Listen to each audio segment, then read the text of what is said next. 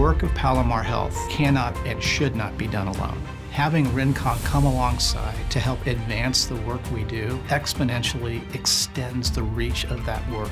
It means so much in helping us reach many lives in North County.